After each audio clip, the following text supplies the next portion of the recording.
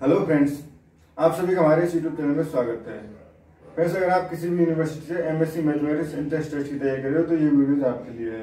ये क्वेश्चन है हमारे पास। दस sequence cos one by two tan inverse minus n by two two n is monotonic and convergent है। Monotonic but not convergent convergent but not monotonic neither monotonic not convergent ये हमें check करना है friends तो इसका solution हम इस तरह से कर सकते हैं।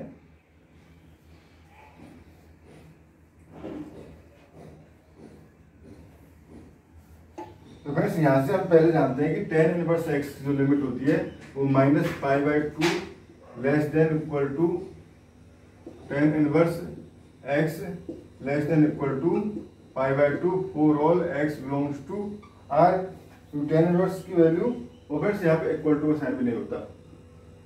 यानी टेन इनवर्स जो है for all five by two और माइनस फाइव बाई टू के बीच में ये सारी वैल्यूज़ देता है।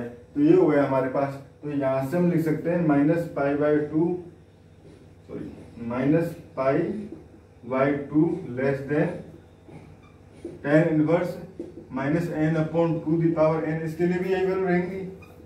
Less than pi by two ये हो गया। अब फ्रेंड्स अगर हम वन अपॉन टू से दोनों तरफ़ डिवाइड कर ले तो यहाँ से हो जाएगा। Minus pi by four less than one upon two tan inverse minus n upon two the power n less than pi by four ये हो गया।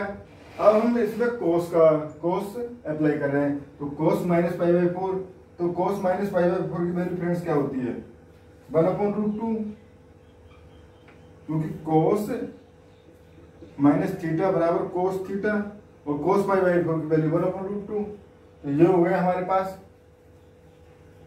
Less than cos one upon two tan inverse minus five by sorry minus n by two two the power n less than और ये हो जाएगा हमारे पास, ये भी cos pi by five by four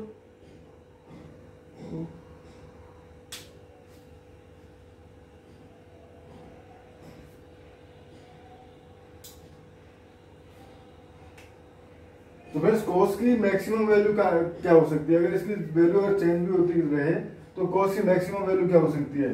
basically यहाँ कॉस पाई बाई फोर वैसे ये वन अपॉन रूट टू ये भी हमारे पास कॉस की वैल्यू जो होती है वन अपॉन रूट टू होती है। तो अगर हम सीक्वेंस की देखें सीक्वेंस की वैल्यू जो है one upon root two less than cos one by two tan inverse n minus n two n upon two n और वन बाई टू यानी इसकी जो वैल्यू है, हमेशा वन अपॉन रूट टू से वन अपॉन रूट टू यानी एक जो रेंज है, वो ओनली सिंगल टर्म रेंज है। सिंगल टर्म रेंज है।